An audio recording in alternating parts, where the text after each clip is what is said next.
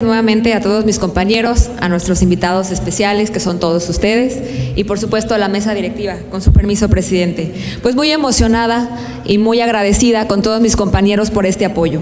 Más allá de una denominación, el decreto, el primer decreto de esta legislatura, pues es el reconocimiento al trabajo de todas y cada una de las mujeres que nos precedieron en esta legislatura desde que eh, comenzó el estado de Quintana Roo, desde que se constituyó nuestro estado a través de una legislatura.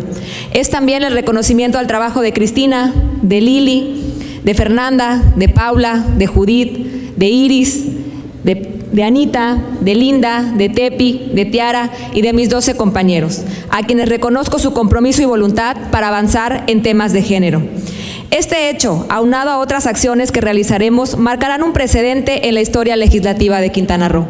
Hace un rato hablábamos de que vamos a realizar acciones en beneficio de las políticas de género. Este es un primer paso.